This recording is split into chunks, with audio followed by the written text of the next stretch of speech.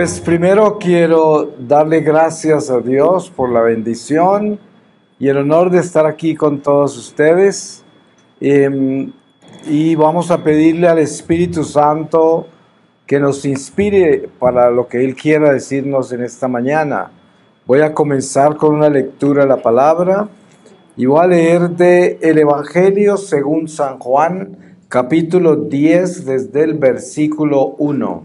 Dice el buen pastor, en verdad, en verdad os digo, el que no entra por la puerta en el redil de las ovejas, sino que escala por otro lado, ese es un ladrón y un salteador. Pero el que entra por la puerta es pastor de las ovejas. A éste le abre el portero y las ovejas escuchan su voz. Y a sus ovejas las llama una por una y las saca fuera.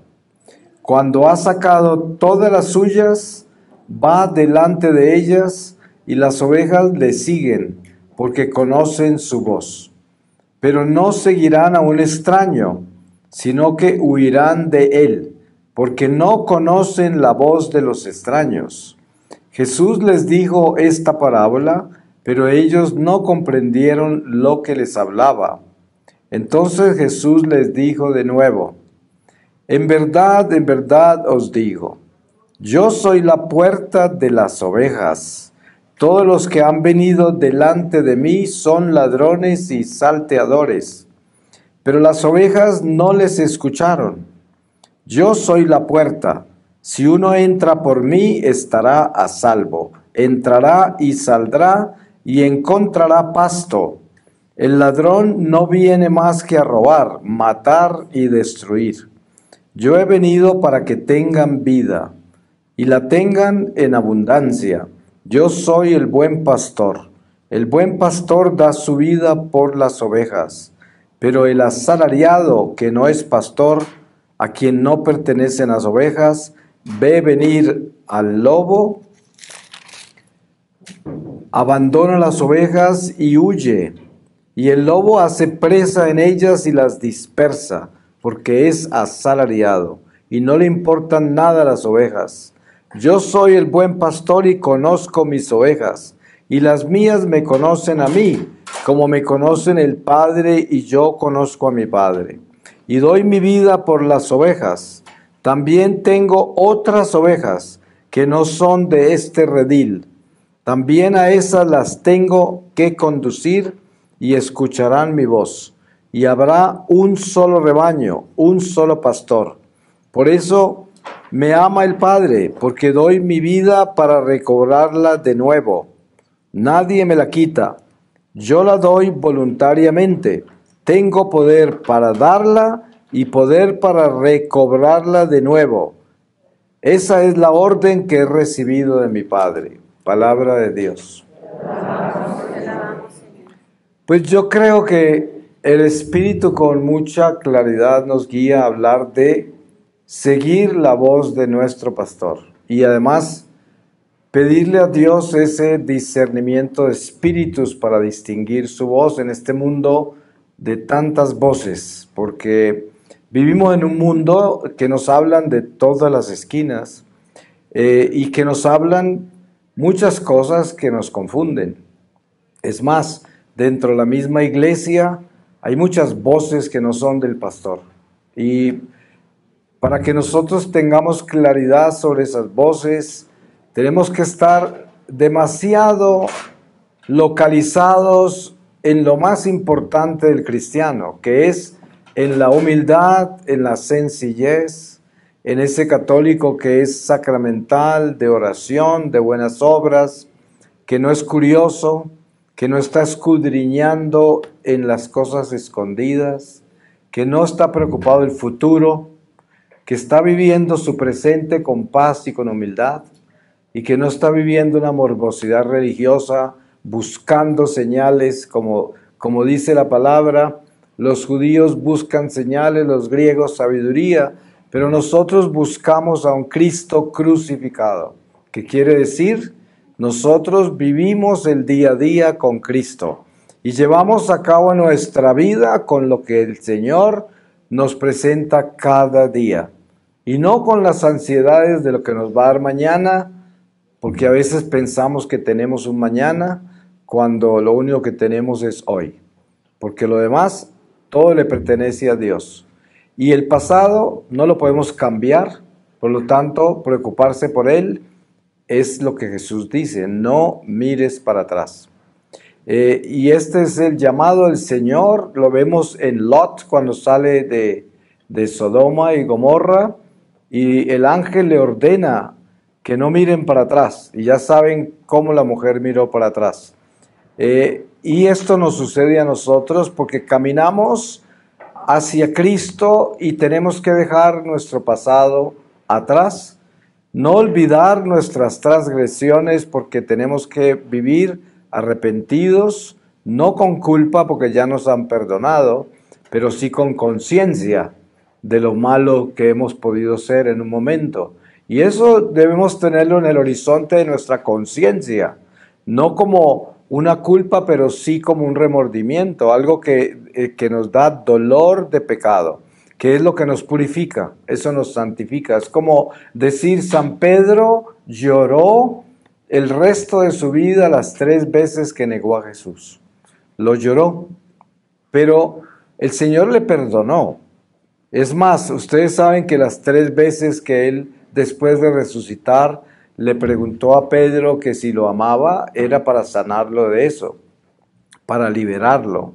Sin embargo, el dolor, la contrición nos purifica, nos santifica y nos evita el purgatorio, porque de eso se trata. Eso es lo que se llama la enmienda, la reparación de los pecados perdonados, porque vivimos una peregrinación por este mundo, que es un mundo de muchos desafíos con relación a nuestra naturaleza humana y lo que Dios quiere de nosotros, espíritu y carne.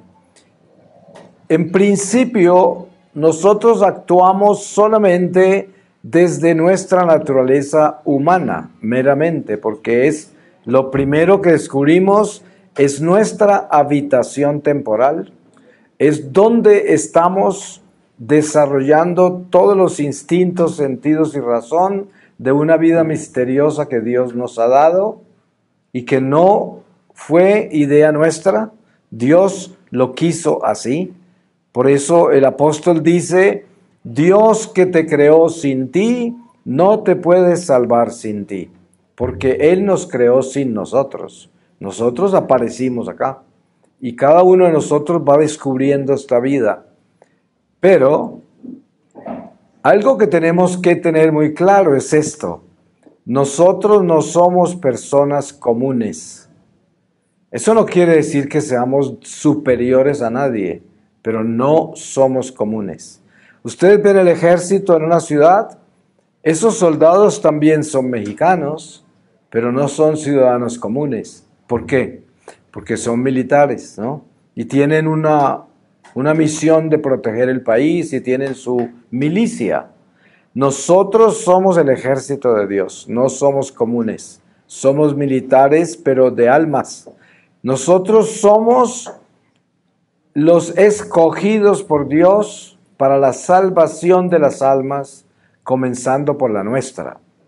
Entonces, teniendo claro lo que Dios quiere de nosotros, lo primero es descubrir nuestra misión con conciencia. Y la misión nuestra, cuando somos conscientes de ella, es que nosotros comencemos por elevarnos al Espíritu, porque si no lo hacemos, no podemos distinguir la voz de nuestro pastor, tan sencillo como eso. Las voces del mundo serán la primera audiencia nuestra, estarán en primer plano serán las más importantes. Pero si nosotros aprendemos a elevarnos al Espíritu, ya en el Espíritu no hay sino dos voces, la voz de Dios y la voz del diablo. Y si estamos en gracia y luchamos por ser hijos de Dios, que es una batalla diaria, eh, distinguimos esas dos voces y podemos caminar con más certeza, con más sabiduría. Esto es demasiado importante tenerlo claro porque La vida en el espíritu exige el superar la naturaleza inferior, que es simplemente nuestra naturaleza humana, que es carnal, que es racional, que no es mala, pero está manchada, como dice San Pablo, por el pecado original, por la concupiscencia, y tenemos tendencias al pecado, tendencias al mal, y por lo tanto es una naturaleza que necesitamos sujetar al Espíritu. Si es que, si es que descubrimos con nuestra conciencia lo importante que es comenzar a actuar como hijos de Dios, como miembros de esta iglesia, como pueblo, escogido, separado, predestinado. Porque descubrir que nosotros somos predestinados es algo que nos eleva ya al espíritu. Porque usted piense, nació en donde haya nacido usted, pero ese nacimiento ya estaba en el plan de Dios, está predestinado para ser católico, hijo de esta iglesia, y, tiene un plan de Dios. Un ejemplo, usted trae agua a la iglesia que es plenamente natural y le pide al sacerdote que la bendiga. Una vez que el sacerdote bendice esa agua, ya no es agua natural ni común, es agua bendita, o sea, agua sobrenatural. ¿Por qué? Porque tiene el Espíritu Santo y cada gota lleva el Espíritu de Dios y quema espíritus malos que puedan haber. Por eso se dice que hay que rociar el agua en los lugares donde vivimos y por donde habitamos o transitamos a veces, para estar libres de todos estos espíritus que rondan los aires. Un sacramental importante. Pero entonces, vayámonos a nosotros. Usted trae un ser humano a bautizar a la iglesia y viene como plenamente natural, racional en su naturaleza totalmente básica. Una vez que es bautizado, este ser humano se convierte en un ser sobrenatural. Si el agua, que es una criatura inferior, obtiene la fuerza que obtiene con la bendición del Padre, se puede imaginar nosotros que somos las criaturas favoritas de Dios en toda la creación, lo que sucede cuando recibimos el Espíritu Santo nosotros que tenemos razón, o sea que podemos ser eh, receptores del mundo espiritual, porque los espíritus son cuerpos intelectuales, no son cuerpos físicos, y solo se pueden comunicar a través del intelecto. O sea que los ángeles de Dios, los santos, la misma Santísima Trinidad, los demonios, que son espíritus, actúan y se comunican a través de nuestro intelecto y a través de nuestro intelecto permeen nuestros instintos, sentido, razón, emociones, sentimientos, pasiones, todo eso, y actúan desde ahí. Por eso, cuando uno está en pecado mortal, le invaden todo el ser y actúan en todo el ser. Cuando está en gracia, los espíritus de Dios actúan en todo el ser. Es la diferencia. Uno queda actuando en la luz o en las tinieblas. No hay un lugar en la mitad. No hay nadie que pueda decir que es medio bueno, medio malo. Usted o es malo o es bueno, o es de Dios o es del diablo. Si usted está en pecado mortal, usted está parado en la oscuridad y es del diablo. No le ponga duda, ay, no es que él es tan bueno, él es una persona de un corazón todo caritativo, Sí, pero no tiene amistad con Dios. Ese tipo de caridad, hay muchos filántropos en este mundo que son ateos eh, y además que apoyan también causas extremadamente anti Dios. Eh, o sea que eso no es condición y garantía de que uno es bueno, por el hecho de que le dé a los pobres o que le ayude a los enfermos. No, precisamente San Pablo en 1 Corintios 13, en el himno a la caridad, habla de eso. Dice que de qué se gana uno con dar la vida por otros, eh, regalar todo lo que tiene a los pobres, hacer todas esas cosas si no tiene amor. Si no tiene el amor de Dios. Y eso pasa con mucho filántropo y mucha gente de caridad en este mundo, que hacen todo lo que hacen, pero no por amor de Dios, sino por amor propio, por vanidad, por conveniencia, por, porque es algo que hacen entre las tantas cosas que hacen.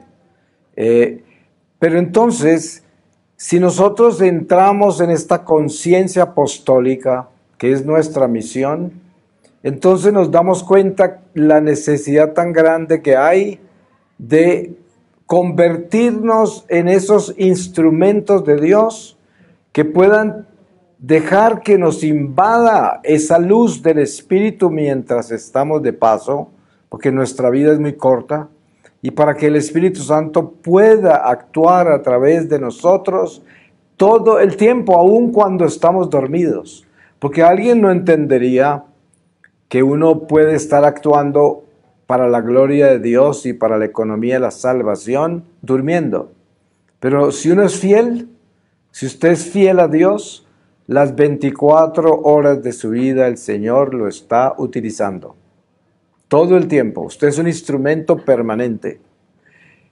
Entonces, la decisión que tomamos es, si queremos entender qué quiere decir las ovejas distinguen la voz del pastor, no hay ninguna posibilidad de que usted distinga la voz de su pastor si usted no le pertenece a él. Si usted no es de él en todo lo que usted es. Ustedes saben que hay gente que es muy fiel a las leyes de precepto en la iglesia. Saben que el domingo es obligatorio, la misa. Saben que hay que confesarse de vez en cuando. Saben que se deben participar en las fiestas de la iglesia y con eso cumplen con la ley. Pero la ley no nos salva. La prueba está que explica San Pablo muy bien sobre los fariseos, sobre los escribas y saduceos de los tiempos de Jesús como todos estaban amparados en la ley eh, de Moisés y cumplían con esa ley a cabalidad. Eran súper estrictos, sobre todo los fariseos, que era la tribu a la que perteneció San Pablo originalmente. Y esa ley actuaba contra ellos porque no tenían amor, no tenían el amor de Dios. Hay mucho católico que cumple con los preceptos de la ley y apacigua su conciencia con eso. Y se siente buen católico porque cumple con la ley. Pero su corazón está totalmente de piedra. Es un corazón sin amor, sin caridad, sin compasión, sin paciencia, sin tolerancia, con una lengua pronta a hacer daño cada que habla. Y todo esto no lo cubre la ley, porque por mucho que usted cumpla la ley, esa ley testifica contra usted. Esa misma ley lo condena. Así de que distinguir la voz del pastor es saber que Dios es justo y misericordioso. Ustedes saben que vivimos en un mundo hoy en la iglesia donde la gente está buscando solo la misericordia.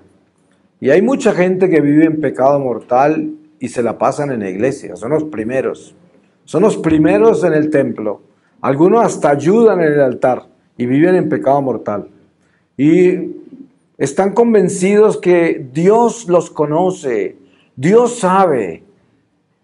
Eh, y hay algo importante de entender con esto porque eso quiere decir que no escuchan la voz del pastor. Obviamente no, porque el pastor es muy claro sobre el pecado.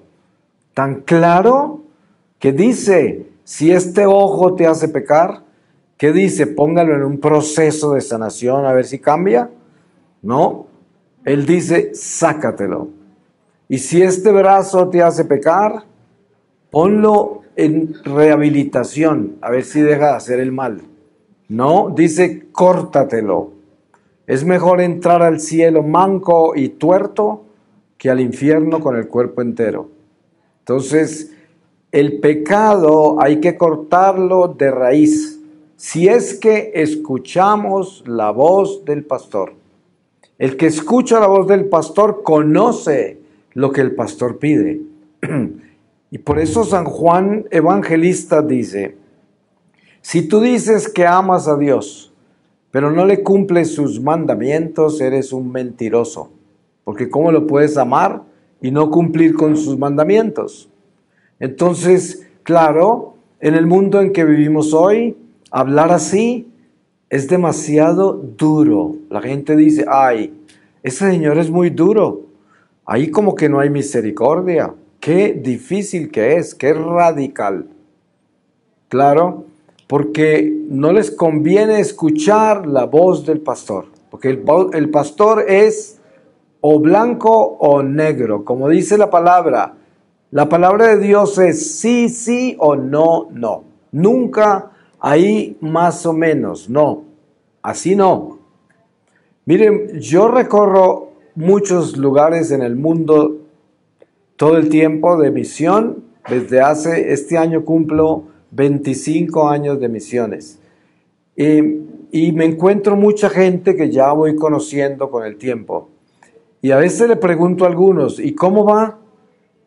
dice, ahí voy, ahí voy.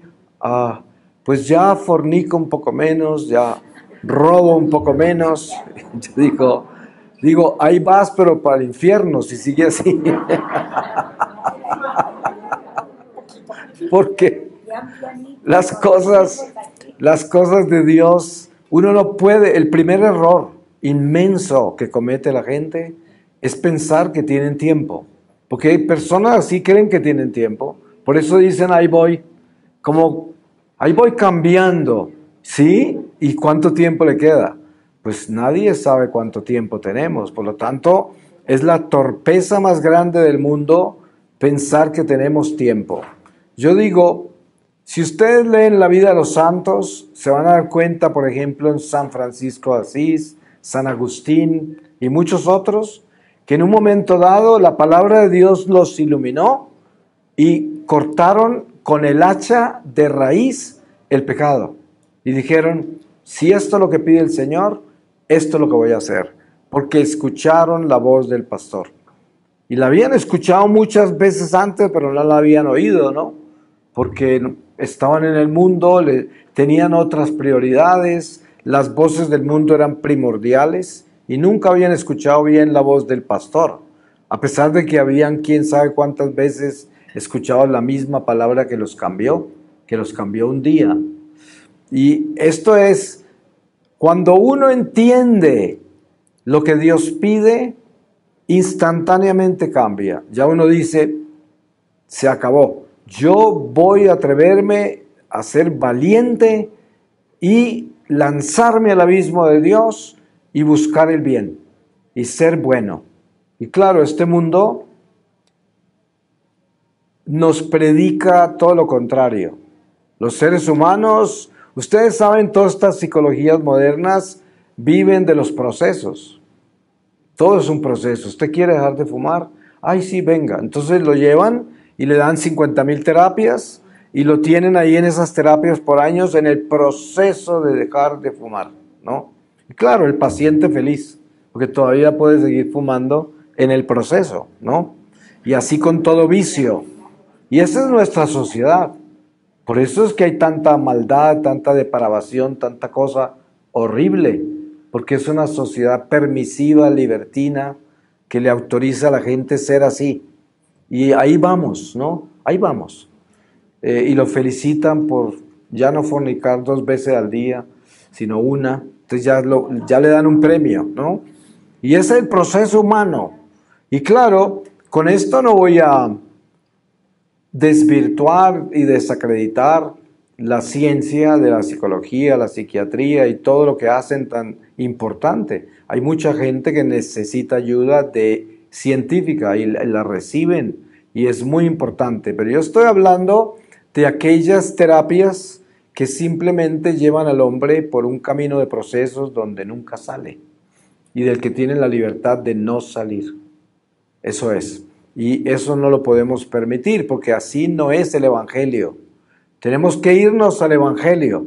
Miren de que antes de que Jesús llegara, o cuando estaba ya llegando, San Juan el, Bautista hablaba de poner el hacha en la raíz. Decía, el hacha está en la raíz.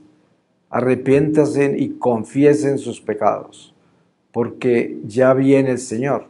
Pero es esa imagen del hacha en la raíz, ¿qué quiere decir? Pues quiere decir que no hay mediocridad, no hay tibieza. Si usted quiere ser de Dios, usted tiene que poner el hacha a la raíz. ¿Qué quiere decir? Usted tiene un vicio, usted tiene un pecado grave en su vida y quiere escuchar la voz de su pastor y ser de él, no tiene opción. La única opción que tiene es el hacha en la raíz. No se mete en procesos de pensar que ahí voy. No, ¿cuál, cuál ahí voy? No, ahí no va para ningún lado. La única forma de ir es cortando, cortando de raíz. Y no hay un momento más grande, más importante, más trascendental que el momento del hacha en la raíz en la vida nuestra. Es la alegría del ángel guardián, es la fiesta del cielo, es la voluntad de Dios. Hay mucha gente buscando la voluntad de Dios por todos lados. Y algunos tienen tratados de la voluntad de Dios y todo eso es bueno. Pero ¿saben qué? También es como un proceso, porque la voluntad de Dios es una sola. San Pablo mismo lo dice y todos los santos lo dicen. Y Jesús lo dice. La única voluntad de Dios es nuestra santificación nada más. Y para ser santo no hay que entrar en un proceso. Para ser santo hay que darle el sí a Dios. ¿Qué hace usted cuando se casa y entra en el sacramento del matrimonio como una persona responsable, consciente, fiel a Dios? Le da el sí al otro, a su pareja. Y es un sí que según el sacramento es para toda la vida. Pues ese es el matrimonio con Dios. Si yo le doy el sí a Dios, es para serle fiel. En todo momento de mi vida. Momentos malos, buenos, como dice el sacramento del matrimonio. Igual con Dios, aún más.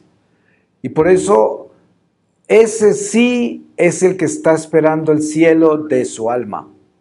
El ángel guardián solo espera eso. Sí, se pondrá contento el día que usted hizo los cinco rosarios y que hizo un ayuno de 200 días y todo, claro, qué bueno todo eso. Pero, pero lo más importante de todo, como dice la palabra, yo no quiero holocaustos ni sacrificios. Quiero un corazón contrito y humillado. Un corazón contrito y humillado, Dios no lo desprecia. Entonces, ese corazón contrito y humillado es el fiat, el sí a la santidad, cuando yo decido ser de Dios. Y miren que cuando yo decido ser de Dios, yo me convierto en una persona pequeña, porque la gente, entre más se adentra en el Espíritu de Dios, más desaparece de este mundo. Se vuelve casi invisible. En una oportunidad estaba yo en una iglesia en Ohio, por ahí en un pueblo pequeño, y el Señor desde el altar donde yo estaba predicando, me mostró una señora que estaba en la última banca al lado izquierdo, allá, y me dijo que esa señora era la columna de esa parroquia.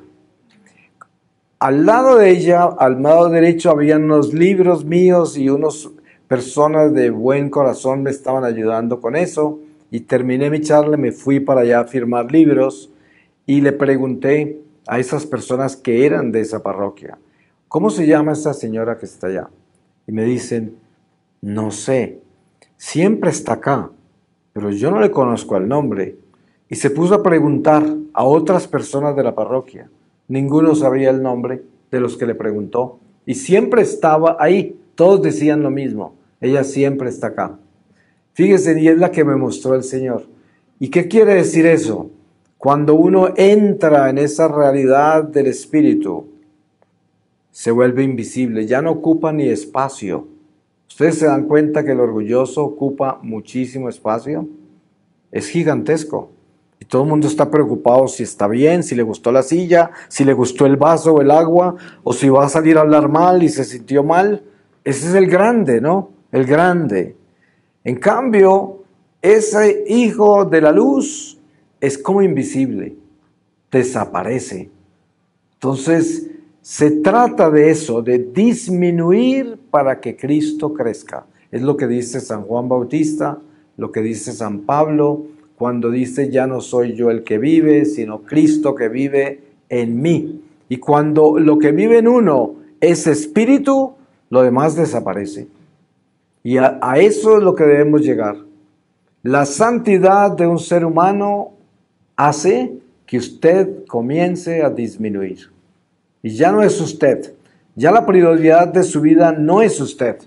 Ya usted no está acá pendiente de los demás, y preocupado por los demás y haciendo presencia en este lugar, sino que usted está metido en el Espíritu de Dios, está en oración, está compenetrado en su conversión, en su vida, está abriéndose para llenarse del amor de Dios y eso es lo, es lo que está. Y en esa forma se convierte en una célula saludable del cuerpo místico del Señor, una célula que transmite vida, que no la obstruye. Usted no es un coágulo. Usted es una célula que es fluida y por ahí fluye la vida. Y eso es lo que debemos nosotros. Mire, cuando usted es una célula fluida, ni siquiera se nota en el cuerpo. Ustedes saben que nosotros tenemos este cuerpo y esta piel. ¿Cuándo nota usted una, una célula de esta mano? Solo si tiene una herida, se hinchó, le pasó algo. Que lo contrario, usted ve una piel entera de una mano y no ve las células, pero si algo le pasa a alguna célula, se hincha, sangra, todo eso y aparece esa célula que normalmente no se ve. Y eso es un ejemplo de lo que nosotros somos en el cuerpo místico del Señor. Si estamos en salud, somos esa piel de Dios, esa piel del cuerpo, esa piel del espíritu y somos un solo cuerpo y no resaltamos como una célula, porque cuando resaltas una célula herida, eso es lo que es el orgullo, lo que es la vanidad, la autosuficiencia, la soberbia, son células hinchadas del cuerpo, son células que son coágulos ya, que no transmiten vida, están obstruyendo la vida, eso es lo que son. Y ustedes se dan cuenta, cuando uno vive en el espíritu del mundo, que es el orgullo, la vanidad, la pretensión, la autosuficiencia, la soberbia, siempre está ofendido, porque todo el mundo le decepciona. Y fácilmente es tan sensible que cualquier cosa lo ofende. Y siempre anda en problemas con todo el mundo porque nadie lo trata bien, es la víctima. Y siempre está en problemas humanos. ¿Por qué? Porque es muy grande Ustedes saben, cuando una persona se vuelve pequeña, ¿quién la puede ofender? ¿Quién la puede decepcionar? Nadie, ¿saben por qué? Porque nunca espera nada de nadie y lo que da lo da sin interés. Entonces, ¿quién lo puede frustrar, decepcionar, ofender? Una persona que está en el Espíritu de Dios le pueden decir los insultos más horribles y esa persona, esos insultos no la corrompen, no la corrompen. Inmediatamente dice, debe estar sintiéndose mal, Lucy, pobrecita, y ora por ella, pero ni la odia ni la desprecia, y mucho menos que va a tomar esos insultos personalmente, porque pues no es para ella eso, eso está saliendo a la boca de Lucy, pero no es para ella. Y es, esto es importante del amor de Dios, porque el amor de Dios nos convierte en eso. Criaturas invisibles en este mundo, porque estamos en la luz. Y hay tanta luz en nosotros que la oscuridad no nos puede ver, se enseguece. Y eso es lo que debemos hacer, porque esa es la voz del pastor. La voz del pastor es que si vivimos unidos al Señor, entonces podemos sobrevivir todas las voces que nos hablan que no son de Dios. Y este mundo está lleno de eso. Miren, hay mucha gente que es muy curiosa y navega muchísimo por internet. Sí, por páginas católicas. Pero lo que sucede es que no todo lo que hay que es católico es de Dios o es bueno. Y entonces hay gente que todos los días está siguiendo a una gente diferente y cada vez está más confundido, porque el uno contradice al otro y etcétera, y entonces al fin parece que no se sabe quién es quién. Pero lo que sucede es que esos eslabones perdidos por la informática es porque no tienen los pies puestos en lo más sencillo que es nuestra doctrina, nuestro catecismo, nuestros sacramentos, la oración, un corazón bueno. Si usted tiene todo eso, nadie lo puede engañar. Y en el momento que usted escucha a alguien predicar, a alguien hablar, usted sabe si esa voz es de Dios o del diablo. Ahí mismo. Porque el hecho de que alguien esté vestido de cura o de obispo o de predicador con credenciales de todas las universidades del mundo, eso no es garantía de nada, y mucho menos en el mundo que vivimos hoy. Hoy el diablo nos habla a través del obispo más prestigioso, a través de el laico más educado, del cura más carismático. Y al final, cuando revisamos todo esto, dentro de muchos de esas personas clericales y laicales, también está el diablo.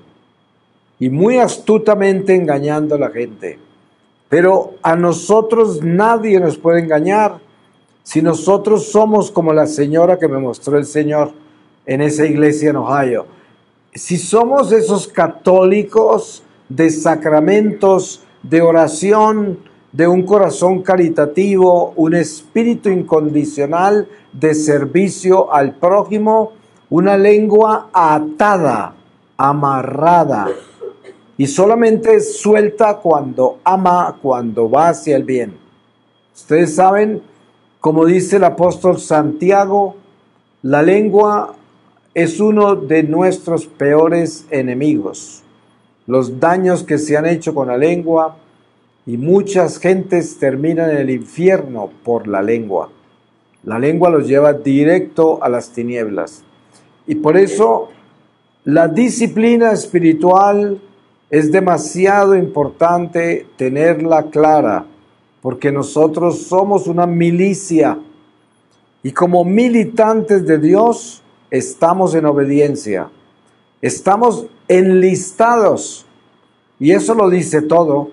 Si estamos enlistados en este ejército de Dios, se nos exige alta disciplina, alta disciplina. Todos los días tenemos que levantarnos con la misión de ser buenos, todos los días porque nuestra naturaleza es pronta a caer en lo malo. Miren que Jesús en Getsemaní, ¿qué le dice a los apóstoles? No se duerman para que no caigan en tentación. La carne es pronta, sí, al opuesto del espíritu. Y esto es lo que debemos tener claro. Nuestra carne, nuestro ser humano es pronto a la desobediencia, a la pereza, a la indiferencia, a la dureza de corazón, a la lengua mala, a todo eso es pronto, a la murmuración. ¿Cuánto daño nos hacen las murmuraciones en el corazón? Hay gente que no dice nada, parece toda buenecita, pero el corazón está lleno de murmuraciones. Si hablaran, se caerían las paredes, porque es inmenso el río de murmuraciones que hay adentro todo lo que piensan de los demás que lo rodean, pero aparentemente es todo buenecita esa persona. A veces va uno a un funeral y toda la familia y el cura y todo el mundo hablan de lo santa que era esa persona. Nunca hizo nada malo, como un ángel, se fue derecho al cielo. Y yo siempre digo, ahí están enterrando un hipócrita, seguro, porque ¿quién puede ser así si ni siquiera Jesús entre nosotros fue así. El Señor tuvo momentos terribles en la vida pública. Ustedes se acuerdan, está escrito, eso no es inventado. Él no estaba de acuerdo con todo el mundo. Él no a todo el mundo trató igual. Él la gente que lo conoció, no todos dijeron, ay, qué hombre tan lindo, tan bueno. No, la mayoría le querían tirar piedra y acabarlo a la prueba hasta que lo mataron. Lo crucificaron, con odio, con ira. O sea, ¿cómo puede vivir uno en este mundo siendo ese buenecito? No vivió en el mundo como es. Esa no es la verdad. Mire usted la vida de los santos, usted lee la vida de cualquier santo. Padre Pío, por ejemplo, semejante santo, estigmatizado. Sin embargo, lean su día a día para que se den cuenta que él no con todo el mundo la lleva bien y con algunos tenía serios problemas. Y se, le, y se salía a los cabales a veces con personas que no soportaba. Y así. Por eso, en la eulogía de una funeral, ¿cómo pueden decir que esa persona nunca tuvo problemas con nadie? Claro, es posible que sí, pero ¿por qué? Pues por dentro nadie sabe la procesión que iba, ¿no? Pero algo no se dijo, algo no se expresó, y algo es, no hubo sinceridad. Porque si somos sinceros, veraces, nosotros decimos lo que tenemos que decir. Y no somos políticamente correctos. Como el mundo de hoy, el mundo de hoy, la bandera de este mundo es ser políticamente correcto. Y yo no quiero ponerme en los zapatos de ustedes ahora que ustedes están enfrentados a estas elecciones. Yo no puedo hablar de política porque yo no soy mexicano y sería un irrespeto con ustedes meterme en los asuntos de ustedes. Pero en lo que sí yo colaboro es en la voz del pastor. ¿Sí? Nosotros tenemos que actuar con nuestra conciencia pero cuando se trata de cosas del mundo, no olvidarnos que es una batalla espiritual y darnos cuenta en qué forma se está manifestando Satanás y cómo se está vistiendo. Y eso es lo que tenemos que ver. Miren que Jesús en las tres tentaciones del desierto nos enseña cómo actúa el diablo. Pero algo importante, sobre todo con esto de la participación en la sociedad, de la doctrina social nuestra de la iglesia es Jesús es llevado por Satanás a una montaña y le muestra todos los reinos de la tierra. La palabra no dice algunos reinos, sino todos los reinos de la tierra. Y le dice, todo esto me ha sido dado a mí. Si te postras y me adoras, te lo doy. Aquí hay una enseñanza increíble y es darnos cuenta dónde estamos, para que no nos hagamos ilusiones. Todo lo que son poderes terrenales son administrados por el diablo. No hay nada que hacer. Es verdad que en la historia sagrada tenemos reyes santos, reinas santas y hombres muy santos de poder y de dinero que Dios bendijo. Y claro, hay personas que son bendecidas por Dios en la prosperidad y en el poder social, político, económico. Hay gente de Dios que es así. Pero esos son elegidos de Dios para vivir ese tipo de vida, ¿no? Eh, eh, por eso yo pienso que nosotros siempre tenemos que hacer todo en oración, pero tener mucho cuidado con los escrúpulos, con la religiosidad, con el misticismo, que es uno de los males más horribles que tenemos en la iglesia hoy, el misticismo. Ustedes saben, es increíble la cantidad de evidentes, de profetas que hay y la cantidad de mensajerío que hay de los últimos tiempos, las tragedias del nuevo orden mundial, de esto, de los masones, y no terminan nunca. Y es como si nunca hubieran leído el Evangelio, ¿cierto? Porque uno dice, ¿acaso el Evangelio de Jesús era un evangelio de terror religioso. El Señor se preocupó por las almas y la salvación de las almas. Y nunca se preocupó por saber a qué hora se acaba esto y qué están pensando los romanos y qué van a hacer con la humanidad. Miren que los judíos eran prácticamente como esclavos de los romanos durante los tiempos de Jesús. Y usted no lee un solo pasaje del Evangelio donde Jesús estaba preocupado de los romanos ni los mencionó. Pero, los judíos sí estaban preocupados y querían que Jesús los liberara de ellos. Eso es el Domingo Ramos. ¿Qué es el Domingo Ramos? Judíos creyendo que llegó el rey a tumbar los romanos. Y por eso lo apedrearon en el Calvario cuando lo sentenciaron a muerte. Entonces, nosotros como hijos de Dios, como hijos de la iglesia, no somos de este mundo. Este mundo es del enemigo. Mientras estemos en este mundo, o sea, mientras vamos en camino, debemos ser buenos administradores de lo que Dios nos confía. Eso que nos confía el Señor, esas personas que están a nuestro lado, esas propiedades o relaciones con el mundo material, en cualquier forma que sea, por nuestra vocación, profesión, por los dones que Dios permite para que nosotros podamos servir. Eso es nuestra responsabilidad, ser buenos administradores, pero nunca olvidarnos que nosotros no somos de acá y que estamos en tránsito y que esta no es nuestra casa.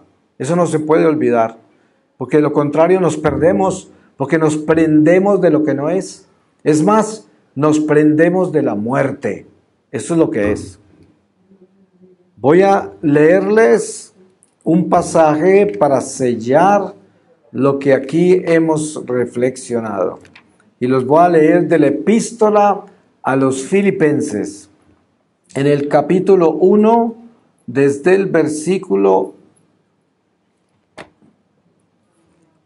27. 1 desde el 27. Lucha por la fe. Lo que importa es que vosotros llevéis una conducta digna del Evangelio de Cristo, para que tanto si voy a veros como si estoy ausente, oiga de vosotros que os mantenéis firmes en un mismo espíritu y lucháis unánimes por la fe del Evangelio, sin dejaros intimidad en nada por los adversarios. Esto será para ellos una señal de perdición y para vosotros de salvación. Tal es el designio de Dios que os ha concedido a vosotros por Cristo, no solo la gracia de creer en Él, sino también de padecer por Él, sosteniendo el mismo combate en que antes me visteis y que ahora oís que sostengo. Palabra de Dios. Pues le damos gracias a Dios porque Él es bueno y misericordioso y sobre todo que el Espíritu Santo es muy puntual y siempre tiene exactamente para decirnos lo que nuestro corazón necesita en el momento perfecto. Amén. Amén.